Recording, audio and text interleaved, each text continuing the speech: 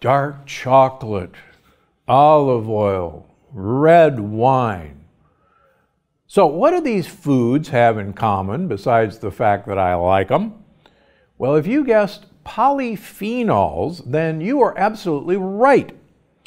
On today's episode, I'm going to talk all about these amazing micronutrients, polyphenols, what they can do for your health, why my critics are wrong about them, and the best and worst sources of polyphenols out there. And I'll invite you to join me in celebrating all the wonderful benefits of polyphenols on National Polyphenol Day, a holiday my team created to educate people about them on July 11th, my birthday. So, Let's dive right in to discuss the power of polyphenols for feeling and looking your best. All right, what the heck are polyphenols?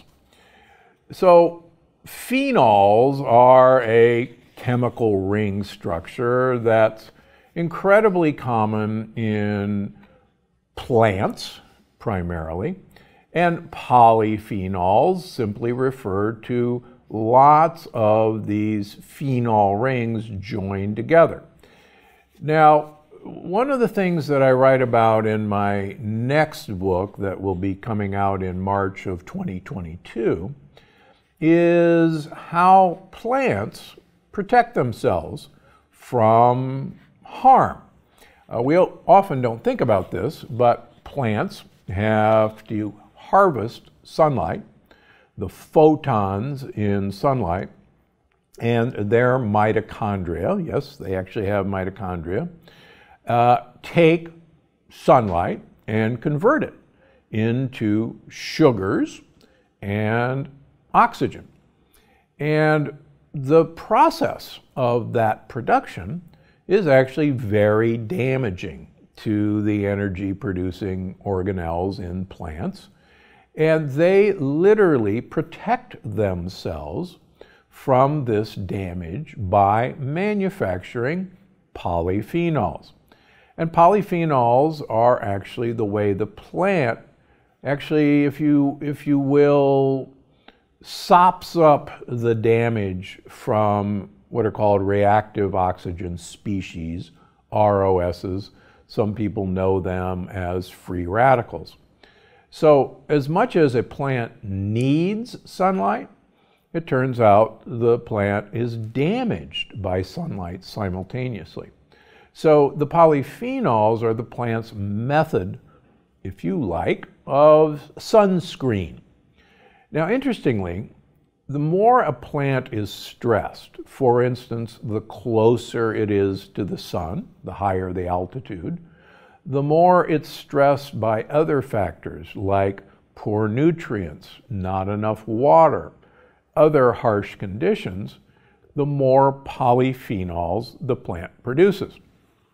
Now, fun fact most plant polyphenols are actually in the leaves, where in fact the energy production is done. And if you've ever doubted about why polyphenols are so important to a plant, every fall you get to watch a beautiful color display of polyphenols. Now, we often talk about the leaves are changing color. In fact, those colors are actually the polyphenols in the leaves that you didn't see because all of the green chlorophyll was hiding those colors. But as the, as the chlorophyll, the energy producing part of the plant, dies off, the polyphenols remain. So this fall, when you're looking at the brilliant color displays, you can actually in your own eyes see the power of polyphenols that the plant was using to protect itself during that exposure to sunlight. Okay, now I mentioned that polyphenols are concentrated in leaves, but the same thing holds true for the fruit of the tree. and the fruit can be damaged by sunlight. So many plants concentrate polyphenols, particularly in the skin of that fruit to protect it from harm. And for instance, great winemakers have known this for a very long time, that the more the vines are stressed, the higher the elevation, the underwater they are, the more polyphenols will be present in the grapes of that particular vine. And great winemakers have known for some time that it was the polyphenols in the grapes that brought all the characteristics and benefits from the wine that the vintners were, were looking for.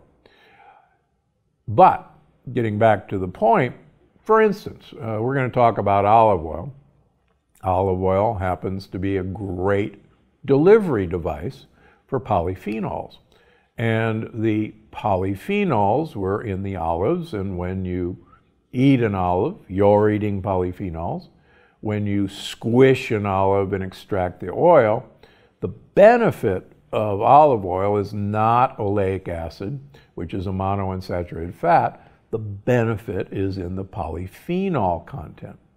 And one of the best ways to assess polyphenol content in olive oil is that if it makes you cough as you drink it or eat it, that's a very potent sign of the level of polyphenol. But there's actually more polyphenols in olive leaves. And that's why olive leaf extract is actually an incredibly great source of polyphenols. And if you want to munch on a few olive leaves, be my guest. Okay, so polyphenols protect the plant from damage from free radicals from reactive oxygen species. And we eat plants and we eat the plant polyphenols, either in their leaves when we eat lettuce. Believe it or not, we're eating polyphenols. When we're eating red leaf lettuce, we're eating more polyphenols than in green lettuce. In fact, years ago, Rutgers University uh, patented a red romaine lettuce that they showed had considerably more polyphenol content than regular romaine lettuce. And it, I've forgotten the name of it now, but it was something red. Uh, but they received a patent because of the polyphenol content. Okay, so polyphenols protect plants from damage. Now, years ago, we used to think that polyphenols were primarily antioxidants. And for years and years and years, we measured the polyphenol content by what was called an ORAC rating, O R A C. That's the oxygen radical absorbing capacity and looked at whether these compounds could actually absorb free radicals. And for years and years and years, uh, this was the standard by which we judged polyphenol content. Unfortunately, it turns out that these compounds, when we swallow them, are not doing that at all. And so if you hear people say that the reason to get polyphenols into your diet is that they are antioxidants, uh, number one, don't believe them. And number two, that's not how they work. And I'm really excited when you see my new book. You'll actually see exactly the power of polyphenols. And it has nothing to do with their ability to absorb free radicals or as antioxidants. But their power is actually far more important. And one of the most recent findings is that polyphenols are actually prebiotics. In other words, if you remember, prebiotics are what your friendly bacteria, the probiotics, like to eat. So, first and foremost, whoever says that polyphenols are the plant defense system against being eaten, and that polyphenols, because of that, are extremely damaging to your health, uh, first of all, doesn't know what they're talking about. Number two, that's not how polyphenols work for the plant, and they're not a defense system of the plant. That's what lectins are for, that's what phytates are for, not polyphenols. The second thing is, uh, people who say polyphenols are bad for you actually don't realize that polyphenols feed friendly bacteria. And there's a host of evidence that you'll see in my upcoming book about the incredible benefit of polyphenols in actually changing the gut microbiome for the better. In fact, I'll, I'll give you a little tease. There's a fascinating study looking at the microbiome and inflammatory markers in uh, three trials in human beings. Uh, one group had to drink uh, several glasses of red wine per day. The second group had to drink the same red wine that had the alcohol removed. And you can go to a store and find non alcoholic red wine. And the third group got to drink gin in the, in, in, in the same alcoholic amount that the red wine drinkers were drinking. And lo and behold, what they found was that both the red wine with and without alcohol changed the gut microbiome to a much more friendly microbiome. In other words, it increased the gut buddies and the result was that multiple markers of inflammation fell in both of those red wine drinkers, whereas no effect was found in the gin drinkers. Why? Because the gin, even though it had alcohol, didn't have any polyphenols.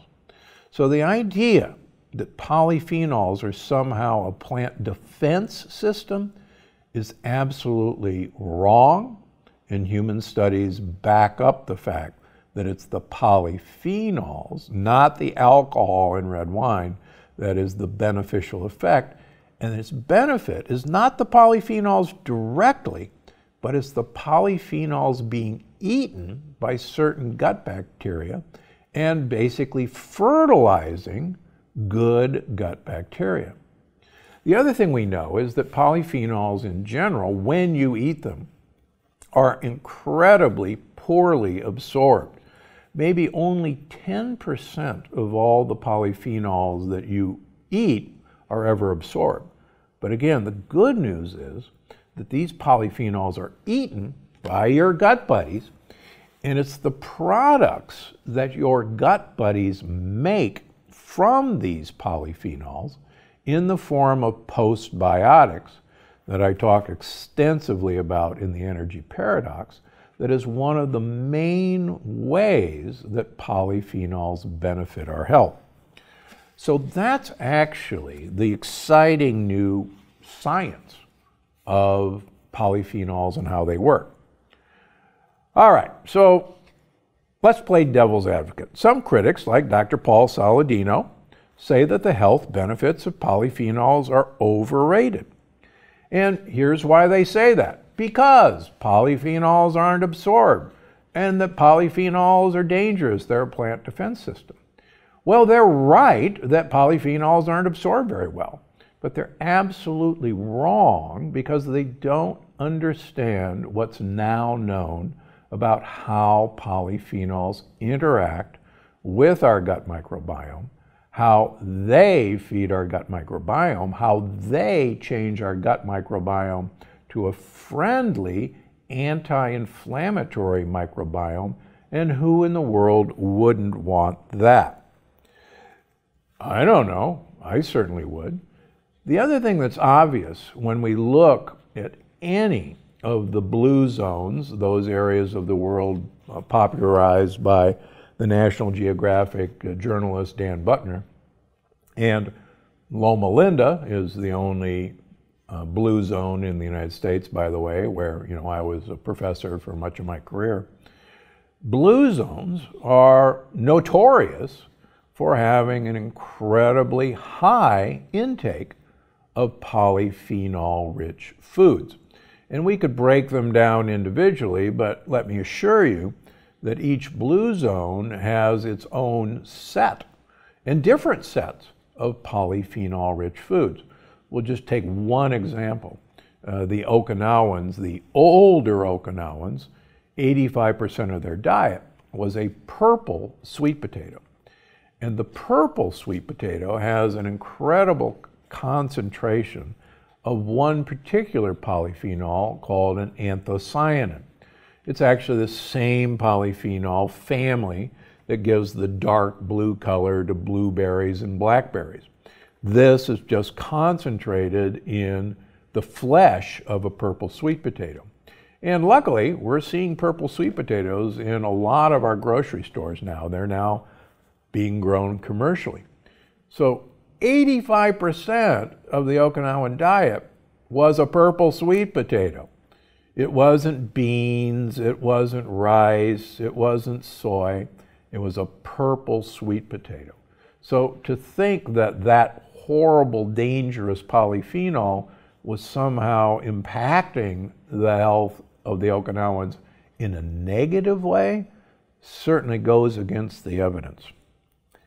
Okay, so that's probably the strongest, if you look at societies who have great health and longevity, that's probably the biggest signal, signal argument about why we should be getting more polyphenols in our diet. And I could go on and on. The famous Predimed study from Spain, which some of my critics say is just one of the worst studies in the world, and they're usually low fat critics. The Predimed study from Spain uh, that I've written about in most of my books took 65 year old people who had had a heart attack and they randomized them into three groups. One group uh, got a liter of olive oil per week. That's about 10 to 12 tablespoons a day.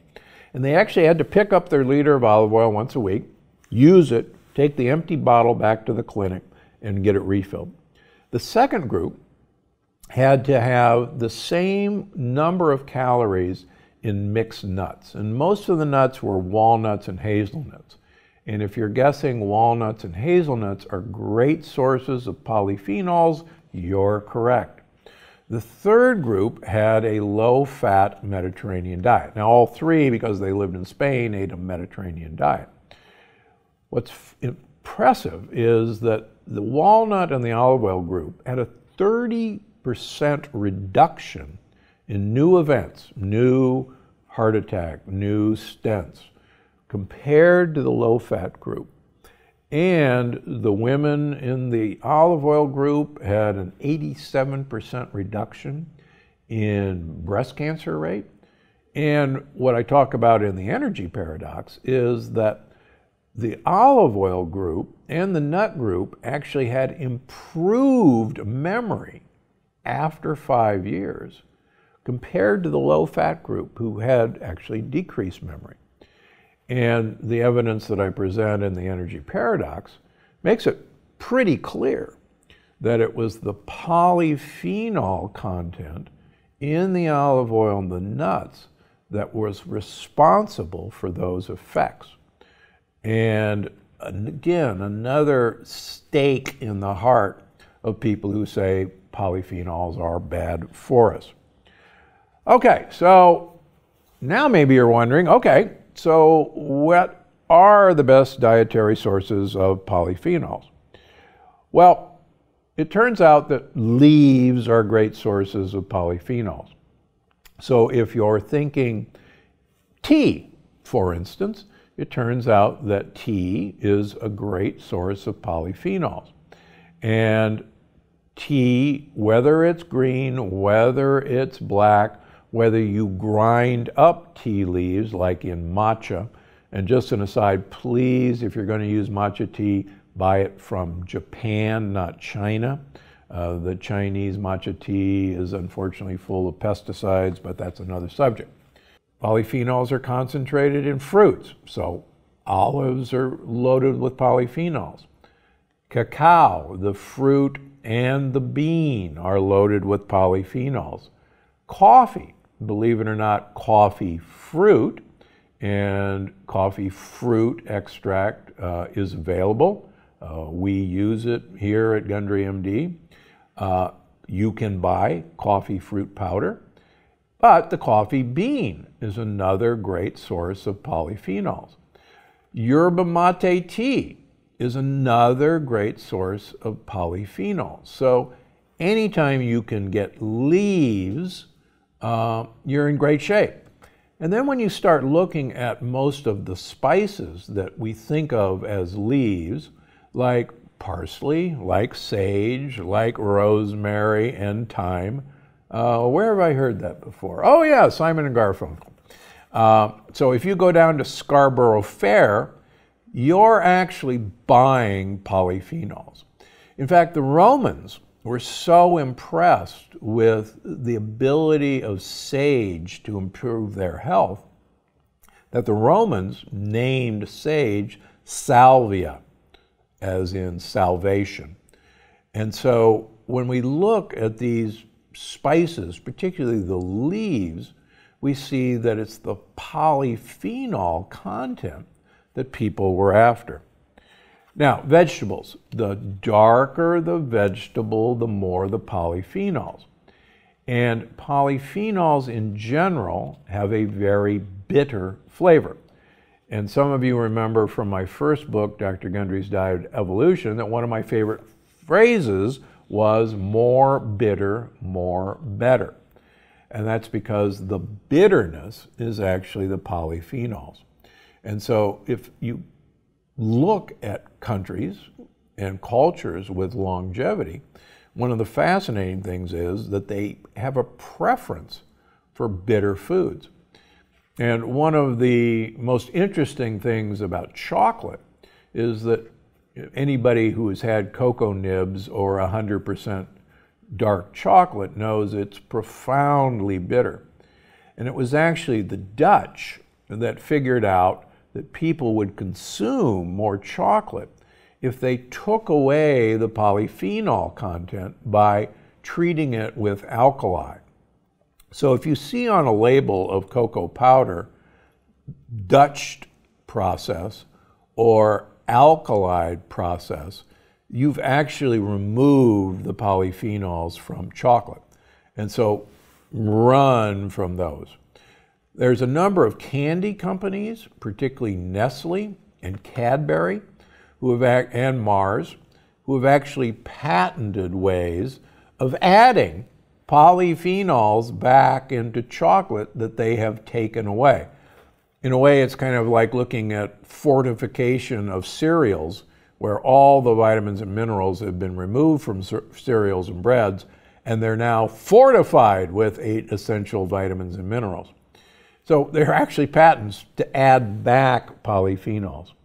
Why have they done this? Because both animal trials and human trials have shown that the polyphenols in chocolate are actually responsible for improvement in cardiovascular flexibility. I've published papers about polyphenols increasing the flexibility of blood vessels in humans. I've published papers about the ability of polyphenols to stop making blood vessels sticky on the inside. And again, these are human studies of polyphenol extracts improving both vascular health and in other human studies, improving brain health. So, what a great thing. Uh, what else should you look for? Again, talked about olive oil probably more than you want to hear. More bitter, more better in olive oil. If olive oil makes you cough, you're on the right track. Red wine. If the wine is made, if the grapevines are made to suffer, to make, to work for a living by being planted in dense rows by underwater, uh, by underwatering them, what's called dry farming, by being planted in rocks, by being planted in high elevations, you're going to increase the polyphenol content. So please, if you can, look for organic grown wines, look for biodynamic grown wines. There are a number of wineries now in the United States, particularly here in California, that are biodynamic wine growers. I'll mention two of my favorites Beckmen in Santa Barbara County, Ampelos Vineyards in Santa Barbara County, and also Spears, are organic and biodynamic, the first two biodynamic. A great number of wines in France and Italy and Austria are now biodynamic, and a huge number of them are organic. I just had an organic wine from Sicily last night, as a matter of fact. Look for the label. You're knowing that, believe it or not, you're going to get more polyphenol content and that's the bang for your buck. Same thing with seasonings. Um, we've had Chef Jimmy Schmidt, three times James Beard Award winner, on our podcast, and he will assure you, and he assured us, that seasonings are going to be loaded with polyphenols. And again, all the great spices of the Middle Ages were actually pursued because of their polyphenol content. And here's a fun fact. Uh, what's the highest polyphenol content of any spice? Come on, think about it for a minute. Um, I'll give you a clue. You probably studded your Easter ham with it. If you said cloves, you're correct. Cloves have the highest polyphenol content of any food. And if you think I take clove supplements, you're right. Uh, because of that, if you saw it, I put all my supplements in the longevity paradox, and there's cloves. And it turns out that cloves was one of the highest sought after spices in the Middle Ages, right behind black pepper, which is loaded with polyphenols, and cinnamon, which is loaded with polyphenols. In fact, as you start looking at the Middle, East, Middle Age spices, you'll notice that people were willing to pay a huge amount of money for polyphenols. And I got news for you people don't pay huge amounts of money just to make food taste better. They were looking for the health benefits of polyphenols way back then. And we're only now beginning to realize what the ancients knew that we're only now discovering. Okay, are there foods with high polyphenol content that I don't recommend? Yeah. It turns out that there are some really interesting polyphenols in soy, and I do talk about them in the upcoming book. You can make soy safe in two ways. Number one, you can pressure cook it. Number two, you can extrude it under high pressure and high heat as texturized vegetable protein, which is TVP, one of the favorite kind of fake foods of Loma Linda cuisine. Or you can actually use soy isolates, soy protein isolates, or soy protein hydrolysates, but you'll eliminate the polyphenols in the latter. Beans, Pressure cook your beans, soak beans. You'll still get the polyphenol content in beans, but you won't get the lectins. So those are the two provisos. The other thing that's interesting, believe it or not, whole grains have polyphenols. But as those of you know, the problem with whole grains is twofold. Number one, the lectin content of whole grains, you cannot pressure cook the lectins in oats or wheat or rye or barley. I'm sorry, they can't be destroyed. The other problem with whole grains is that so much of our American food supply in whole grains has been sprayed with Roundup. And glyphosate is one of the biggest disruptors of your gut and your energy that we could have ever invented. So, long story short, polyphenols were designed to protect the plant from damage. Polyphenols were the sunscreen for the plant. Polyphenols were not insect insecticides. They were not toxins or poisons. They were to protect the plant's energy factories. And when you eat plant polyphenols, lo and behold, you're not eating antioxidants. You're feeding your gut buddies the food that they need, and they in turn turn those polyphenols into health promoting compounds that I can't wait for you to learn how they work in the upcoming book. So stay tuned. All right, before we close, I mentioned at the top of the lecture, I want to invite you to join me in celebrating National Polyphenol Day coming up on Sat- Sunday, July 11th. It's also my 71st birthday. So, wow, National Polyphenol Day and Dr. Gundry's birthday all in one.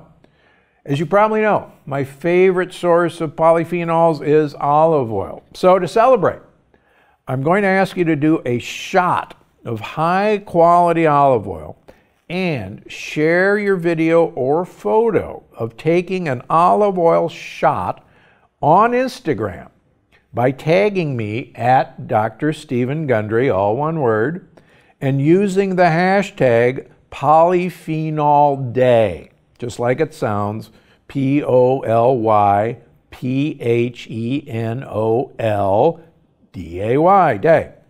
I'll be sure to repost so we can help others know about the, poly, the power of polyphenol. This is actually going to be really fun. So I hope you'll join me. Get your shot of olive oil ready on July 11th, my birthday. Bottoms up to your health, to my health. National Polyphenol Day. So this is going to be really fun. Hashtag polyphenol day. Okay, it's time for the audience question. This week's question comes from Ryan on iTunes, who asks, What is your opinion on nebulizing hydrogen peroxide? Dave Asprey has it as a tool for one of his hacks. Well, there are others, including Dr. Joseph Mercola, who have really gotten in to the nebulized hydrogen peroxide uh, as a treatment uh, for COVID 19 and also as a potential preventative for COVID 19. Uh, I'm not going to join in the chorus uh, one way or another. I don't recommend it to my patients. Even some of these advocates say that there is a slippery slope with uh, the use of this. And I think I'm going to leave it at that. There's far better ways to protect yourself that I've talked about before. The number one way to protect yourself is to not have a leaky gut and inflammation. The number two way, which goes along with that, is to get your vitamin D levels up, folks. Number three way, if you're going to take high dose vitamin D like I do, please take vitamin K2 with vitamin D. It will actually take any calcium in your system and put it in your bones, take it away from your blood vessels. And if you believe that coronary calcification is scary, you certainly want to take the calcium out of your arteries and put it into your bones. That's the way to protect yourself.